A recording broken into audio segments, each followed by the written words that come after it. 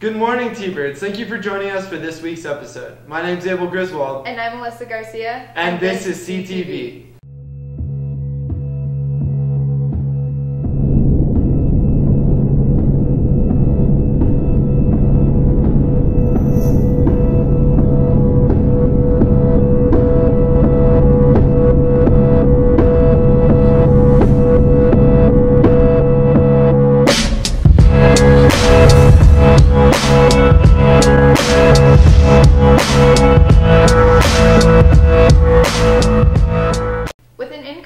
gun violence, many people are taking a stand. Here's Karina with more. The March for Our Lives rally held on March 24, 2018, brought hundreds of thousands of people to protest for gun control. It was the biggest single day protest in our nation's capital and was held nationwide. I decided to come out today because, like, honestly, enough is enough. I mean, since Columbine, if you look at how many mass shootings there have been and um, how we really haven't done anything to improve it or stop it, like, the only thing we can do at this point is use our voices as much as possible and hope that somebody in Washington, like our leaders, will listen. First of all, it's a national movement. Um, starting in Florida, when those students were walking to um, the nation's capital, and I wanted to be part of it. And I think a big part of people coming today is that if you're coming today, it's because you're advocating for your rights as a student, as a citizen, as somebody who feels in danger. And the truth is, you don't know what it's like to be a student unless you're a student. And we come to represent that, that we are scared to go to school, we're scared. And so I think that's what it has to do with. That's why I came, is because I'm scared to go to school and I'm sick of it. I don't have any kids of my own, but if I was a father, I would definitely be here right now because uh, there's nothing more important than our kids. Huge crowds gathered in Washington and other cities to protest the mass shooting in Parkland, Florida, and the everyday gunfire that scars kids' lives. As of now, there are only six Congress members that don't accept money from PACs, and of PACs being the NRA. So I hope to see that change. I hope that less people will be accepting that money, protecting students, protecting lives, protecting that. We're so incredibly lucky to have a congressman here in El Paso that advocates for gun legislation, that advocates for the safety of students. I'm all, all about supporting the kids. Um, we have to say no to the NRA. We have had enough of uh, politicians just following, getting taking the money, and running with that. And uh, I believe enough is enough.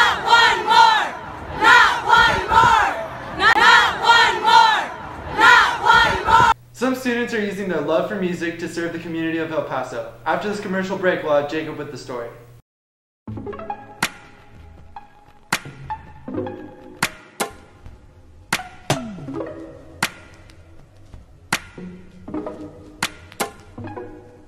Send me your location, let's focus on communicating. Cause I just need the time and place to come through. Send me your location, let's ride the vibrations. I don't need nothing else but you. At times I wonder why I fool with you, but this is new to me. This is new to you. Initially, I didn't wanna fall, but you gathered my attention. It was all for you. So don't take advantage. Don't leave my heart damaged.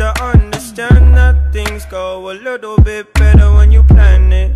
Oh, so won't you send me your location? Let's focus on communicating. Cause I just need the time and place to come through. So here we go.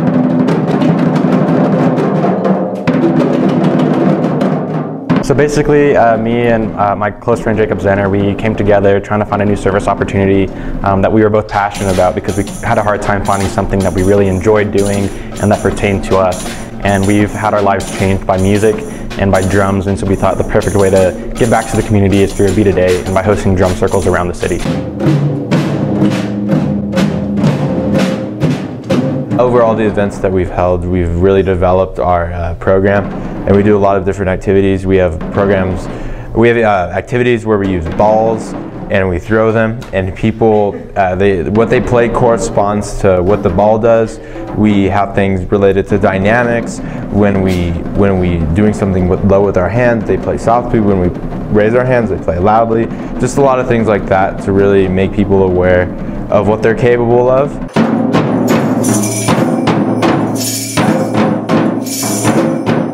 I joined it because I love spreading the love of music with other people, with people that maybe never have played music or even played drums. It's a beautiful thing to see people enjoy it and do something they never done before. The biggest impact was probably when we went to the children's hospital and we played with all the, the sick kids in the in the waiting rooms. That was seeing a smile on their face when they're having a hard day is a, is a great thing. I think my favorite thing about a beat a day is getting to see a smile on someone's face whenever we play the drums with them. It's a real joy that I like I'd like to share with everyone else. We started off at the Children's Hospital, then we expanded out to some ch uh, child development centers, some uh, playhouses for those with Down syndrome, um, and then a lot of senior uh, or assisted living centers. In the future, even though we all plan on going to different colleges, we want to uh, sort of expand out and branch out and create smaller branches of a Beat a Day wherever we end up.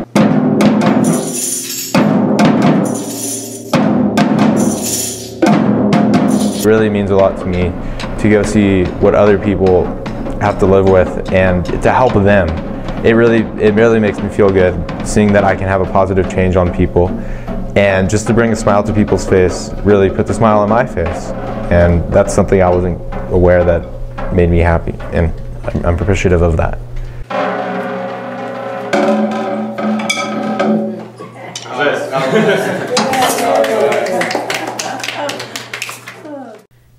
Program at Coronado is expanding to many schools. Here's Sydney with the story. International Baccalaureate is an international program, also known as IB. It offers advanced classes providing higher level thinking. Now, IB will not only be offered in high schools, but as well as middle schools. Implementing the IB program at the middle school level is a little bit different than the high school level. It encompasses the entire school.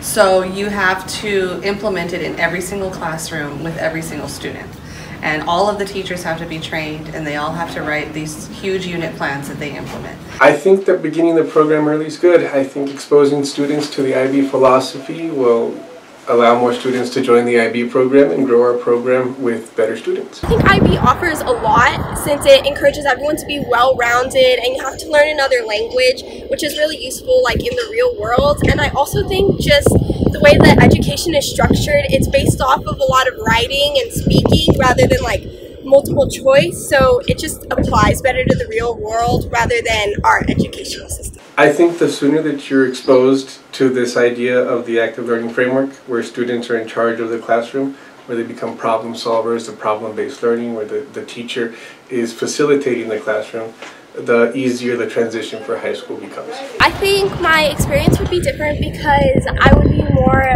adapted to the well-roundedness that IB presents its students with and encourages them to immerse themselves in.